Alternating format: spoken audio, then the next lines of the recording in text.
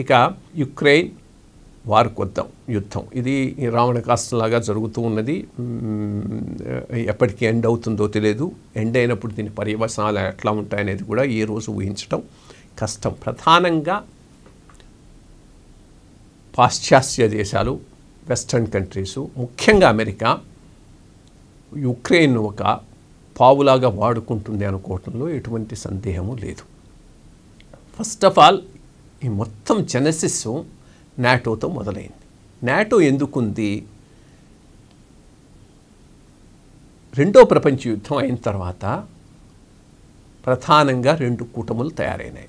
ఒకటి అమెరికా ఆధిపత్యం వహిస్తున్న ఒక కూటమి ఇంకోటి United Soviet Socialist Republic USSR ఆధిపత్యం వహిస్తున్నటువంటి కమ్యూనిస్ట్ కూటమి ఒకటి.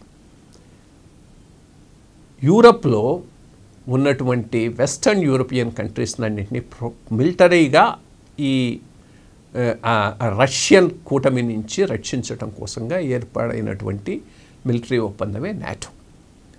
దీంట్లో America all European western European countries Turkey కూడా మెంబర్స్గా ఉన్నాయి. సో నాటోకు ప్రధానమైనటువంటి కారణం ఏంటంటే threat from USSR USSR and USSR affiliated countries. ఈ యుఎస్ఎస్ఆర్ యుఎస్ఎస్ఆర్ అఫిలియేటెడ్ కంట్రీస్ అంటే అప్పుడు ఉండేటువంటి పోలాండు హంగరీ చెకోస్లవేకియా ఇవన్నీ కలిపి వాళ్ళు ఇంకొక ప్యాక్ట్ చేసుకున్నాయి. దాన్ని వార్సా ప్యాక్ట్ అది ఇంకొక మిలిటరీ ప్యాక్ట్. ఈ రెండు రెండు ప్యాక్ట్స్ కింద ఈ- ఈస్ట్ జర్మనీ అటు ఉండేది వెస్ట్ జర్మనీ అటు ఉండేది. ఈ రెండు ప్రధానమైనటువంటి రెండు ప్యాక్స్ రెండు రెండు మిలిటరీ అలయన్సెస్ కింద బ్యాలెన్స్ను యూరోప్లో మెయింటైన్ చేస్తూ ఉండేవి కోల్డ్ వార్ పీరియడ్లో.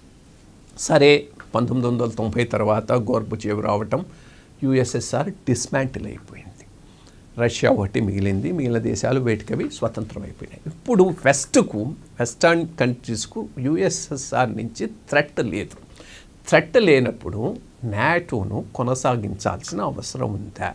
లేదు యాక్చువల్లీ. కానీ అమెరికా లీడర్షిప్ ఎట్లా ఉంది అంటే యూరప్లో తమ డామినెన్స్ను అట్లాగే కొనసాగించుకుంటూ రష్యాను ఐసోలేట్ చేయటం అనేటటువంటిది ఒక టార్గెట్ కింద పెట్టుకొని పావులు కదపటం మొదలెట్టింది. ఈ వార్సా ప్యాక్ట్ నుంచి బయటకు వచ్చిన ఈస్టర్న్ యూరోపియన్ కంట్రీస్ను ఒక్కోటి ఒక్కోటి నాటోలో మెంబర్లుగా చేర్చుకుంది. యుక్రెయిన్ను కూడా చేర్చుకోవడానికి సిద్ధమైంది.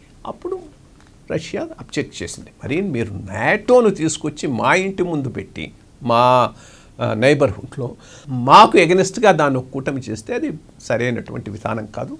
ఇన్ఫ్యాక్ట్ ఆ రోజు పుటిన్ ఇచ్చిన ఆఫరు మమ్మల్ని కూడా నాటోలోకి తీసుకోండి అప్పుడు. మొత్తం అంతా ఒకటే అవుతుంది. వన్ వన్ మిలిటరీ జోన్ దానికి ఒప్పుకోలేదు. బట్ యుక్రెయిన్ మిగిలిన వాటిని జాయిన్ చేసుకోవడానికి రెడీ అయినారు. అక్కడి నుంచి కాన్ఫ్లిక్ట్ స్టార్ట్ అయింది. ఇక రెండోది యుక్రెయిన్లోనే కొన్ని ఏరియాస్ రష్యా స్పీకింగ్ ఏరియాస్ ఉన్నాయి. అక్కడ ఉన్నటువంటి ఎథనిక్ కాన్ఫ్లిక్ట్ క్రిమియా దానిని రష్యా అనెక్స్ చేసుకోవటం. దీంతో ఈ కాన్ఫ్లిక్ట్ మొదలైంది. ఈ కాంటెక్స్ట్లో రష్యా యుక్రెయిన్ మీద ఇన్వైట్ చేసింది. ఎప్పుడైతే యుక్రెయిన్ మళ్ళా నాటో మెంబర్ అయ్యేటటువంటి అవకాశం ఉంది. యుక్రెయిన్ వాళ్ళంతట వాళ్ళైతే ఏదో ఒక విధంగా రష్యాతో ఒక అగ్రిమెంట్కి వచ్చి దాన్ని సమస్యపోయేటట్టు చేసుకునేవాళ్ళు. కానీ అమెరికా ఈ కాన్ఫ్లిక్ట్ను ముందుకు తీసుకుపోవడానికి ముందుకు వచ్చింది ఎందుకంటే రష్యాను వీకన్ చేయాలనేటటువంటి ఒకే ఒక ఉద్దేశంతో అమెరికా జరుపుతున్న ప్రాక్సీ వారే యుక్రెయిన్ వార్. లేకపోతే ఎప్పుడూ ఇది ఒక ఎండుకు వచ్చి ఉండేది రెండోది ఇది ఏదో ప్రజాస్వామ్యానికి నియంతృత్వానికి మధ్య జరిగేటటువంటి పెద్ద కాన్ఫ్లిక్ట్ కింద ప్రజెంట్ చేయడానికి అమెరికా చూస్తుంది కానీ వాస్తవానికి అటువంటి పరిస్థితులు ఏమి లేవు. ఈ లీడర్ ఏం పెద్ద డెమోక్రసీని రిప్రజెంట్ చేసేటటువంటి లీడర్ కాదు జెలెన్స్కి ఇక్కడ కానీ అక్కడ కానీ ఉన్నటువంటివన్నీ కూడా ఆటో ఐ మీన్ క్లెప్టోక్రసీస్ ఎవరో కొంతమంది ఆలిగార్కీస్ వీళ్ళు రన్ చేస్తున్నటువంటి uh, ప్రభుత్వాలే కానీ యుక్రెయిన్లో కానీ రష్యాలో కానీ అంతకు మించినటువంటి వాళ్ళు అక్కడేమి పెద్దగా ప్రజాస్వామ్యాన్ని రిప్రజెంట్ చేసేటటువంటి దేశంగా ఉక్రెయిన్ చూడాల్సినటువంటి అవసరం కూడా లేదు. సరే ఈ యుద్ధం ఈరోజు. ఏదో పెద్ద కౌంటర్ అఫెన్సివ్ స్ప్రింగ్ వారు స్ప్రింగ్ అఫెన్సివ్ చేసేస్తారు మొత్తం వెనక్కు తీసేసుకుంటారన్న లెవెల్లో ప్రచారం చేశారు. స్ప్రింగ్ అయిపోయింది. ఆటం వచ్చేసింది. వింటర్ కూడా వస్తున్నది. స్ప్రి స్ప్రింగు సమ్మరు రెండు అయిపోయినాయి. అయిపో సమ్మర్ అయిపో వస్తున్నది. ఇప్పటికి కూడా పెద్దగా యుక్రెయిన్ గెయిన్ చేసినటువంటి టెరిటోరియల్ గెయిన్స్ అయితే ఏమీ లేవు. రష్యా తన దేనైతే తను గెయిన్ చేసుకుందో దానికి హోల్డ్ ఆన్ చేస్తూ ఉన్నది. ఈ కాన్ఫ్లిక్ట్లో ఫర్దర్గా యుక్రెయిన్ ముందుకు పోయే అవకాశాలు తక్కువ ఉన్నాయి. వీళ్ళను సపోర్ట్ చేసే విషయంలో కూడా అమెరికాను వదిలేస్తే యూరప్లోనే భిన్నాభిప్రాయాలు వ్యక్తమవుతున్నాయి. ఫ్రాన్స్కి అంత ఇష్టం లేదు. జర్మనీ అటు ఇటు కాకుండా ఉన్నది. So course F sixteen so అవి ఇచ్చి ఈ వార్ను ఇంకా ప్రొలాంగ్ చేయాలనేటటువంటి ఉద్దేశంతో ఈరోజు ఉన్నటువంటి అమెరికన్ లీడర్షిప్ ఉన్నది. కానీ next year American presidential election అయిన తర్వాత రిపబ్లికన్సే వస్తే వాళ్ళు ఆల్రెడీ తమ స్టాండ్ చాలా క్లియర్గా చెప్తూ ఉన్నారు. ఈ యుద్ధానికి ఒక ముగింపు మేము పలుకుతామని. సో అమెరికా ఎలక్షన్స్ దగ్గర అప్రోచ్ అయ్యే కొద్దీ యుక్రెయిన్ పెద్దగా మిలిటరీ గెయిన్స్ చేయలేకపోతే ఈ యుక్రెయిన్ వారు ఇకెంత ముందుకు పోకపోవచ్చు రష్యాయే గెయినింగ్గా ఉండొచ్చు. ప్రధానంగా రిపబ్లికన్ పార్టీ వాళ్ళ ఫిలాసఫీ కరెక్ట్గా ఉంది. రష్యాను వీకన్ చేయటం ద్వారా మనం సాధించింది ఏమీ లేదు. రష్యాను చైనా యొక్క ఫోల్డ్లోకి పంపించేస్తున్నాం. ఏ రోజుకైనా అమెరికాకు మెయిన్ రైవల్ ఇంటర్నేషనల్గా చైనా కాబోతున్నది. రష్యాను చైనా ఇన్ఫ్లుయెన్స్లోకి పంపించడం వల్ల అమెరికాకు జరిగేటటువంటి లాభం ఏమీ లేదు. కాబట్టి ఎట్లాగైనా ఈ వార్కు ఒక ముగింపు పలికి Russian identity independence importance separate from China గనక మనం మెయింటైన్ చేయగలిగితే అది మనకు బాగుంటుంది ప్రపంచానికి బాగుంటుంది అనేది రిపబ్లికన్ పాయింట్ ఆఫ్ వ్యూ. అది బాగా చాలా చక్కగా వివేక్ రామస్వామి క్లియర్గా ఆర్టికులేట్ చేస్తున్నాడు. అటువంటి పరిస్థితి ఉండి ఈ ప్రైమరీస్ జరిగి ఈ గ్యాలప్ పోల్స్ అవి వచ్చి రిపబ్లికన్సే గెలిచే అవకాశం ఉందన్నప్పుడు ఈ యుద్ధానికి అమెరికా నుంచి వచ్చే సపోర్ట్ కూడా తప్పు తగ్గుతుంది. దాంతో అది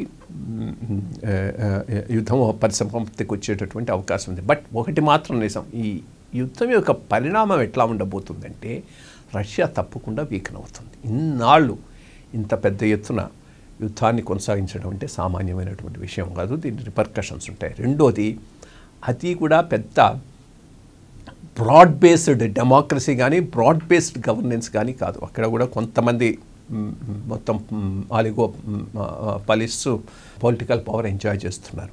దీని పర్యవసానం ఎట్లా ఉంటుంది? పుటిన్ కంటిన్యూ అవుతాడా? అంటే ఆల్రెడీ ఒక అటెంప్ట్ అయితే పుటిన్ నిధించడానికి జరిగింది. అతను ఈ మధ్యనే చనిపోయినాడు సో ఇవన్నీ చాలా ఇష్యూస్ ఉన్నాయి బట్ బెటర్ దీనికి ఇంతతో స్వస్తి పలకటం మంచిది. ఈ రియలైజేషన్ యూరప్లో వస్తున్నది అమెరికాలో రావట్లేదు. అమెరికాలో రావడానికి కూడా ఎక్కువ కాలం పట్టకపోవచ్చు. దీంతో ఒక ఈ ఈ అంశానికి ఒక ముగింపు రావాలని అందరం కోరుకోవాల్సినటువంటి అవసరం అయితే ఉన్నది. ఇది ఇట్లాగే కంటిన్యూ అయినందువల్ల వాళ్ళు టూ ఇంపార్టెంట్ ఐటమ్స్లో పెద్ద ప్రాబ్లం వస్తూ ఉన్నది. ఒకటి ఫుడ్ గ్రెయిన్స్ uh, ఆహార ధాన్యాలు. మొత్తం ఈ బెల్ట్ బెల్ట్ అంతా యుక్రెయిన్ రష్యా బెల్ట్లో చాలా వీట్ గ్రో అవుతుంది గోధుమలు. అవన్నీ ఇప్పుడు షిప్మెంటు అది పెద్ద ప్రాబ్లం అవుతుంది. రెండోది ఆయిల్. రష్యా చాలా ప్రధానమైనటువంటి ఆయిల్ ప్రొడ్యూసింగ్ కంట్రీ దానికి కూడా వచ్చింది. బట్ ఈ ఈ కాన్ఫ్లిక్ట్ వచ్చినప్పుడు ఇండియా స్టాండ్ ఎట్లా ఉంటుంది. ఇండియా ఎట్లా నెగ్గకొస్తుంది అనే దాని మీద చాలా అనుమానాలు ఉన్నాయి. ఎందుకంటే ఆ, కాన్ఫ్లిక్ట్ లేనంత వరకు రష్యాతో బాగానే ఉంటూ అమెరికా ఇన్ఫ్లుయెన్స్ను కూడా బ్యాలెన్స్ చేసుకొని పోవటం ఈజీగా ఉంటుంది. బట్ ఇది వచ్చినప్పుడు ఇండియా ఒక స్టాండ్ తీసుకోవాల్సిన అవసరం వచ్చింది. ఆ స్టాండ్ ఎట్లా తీసుకుంటుంది? దీని రిపర్కషన్స్ ఎట్లా ఉంటుంది? అమెరికా ఇండియా మీద శాంక్షన్స్ వేస్తారా? ఒకవేళ కనుక రష్యాకు ప్రోగా ఉంటే అని చాలామంది డౌట్స్ ఎక్స్ప్రెస్ చేశారు. కానీ సూపర్ ఫారిన్ పాలసీ ప్లేయింగ్ మాత్రం ఇండియా చేసింది. దాన్ని ఎవరూ కాదనలేరు.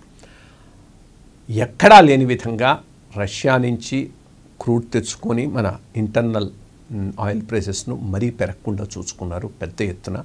సేమ్ టైం అమెరికాను మేనేజ్ చేసుకుంటూ దానివల్ల అమెరికా అడ్వర్స్గా మనకు తిరిగి మన మీద శాంక్షన్స్ చేయకుండా చూసుకున్నారు. బ్యాలెన్సింగ్ సూపర్గా చేశారు. ఇంత మటుకు అది చాలా గొప్ప విషయం. ఈ కాన్ఫ్లిక్ట్ ముగింపు వస్తే ఆ బ్యాలెన్సింగ్ కూడా అవసరం ఉండదు. క్రూడ్ ప్రైసెస్ తగ్గే అవకాశం ఉంది ఫుడ్ ప్రైసెస్ కూడా తగ్గే అవకాశం ఉంది. ఎకానమీ వరల్డ్ ఎకానమీ బాగుపడుతుంది. ఇది రష్యా యుక్రెయిన్ జరుగుతున్నటువంటి వారి గురించి.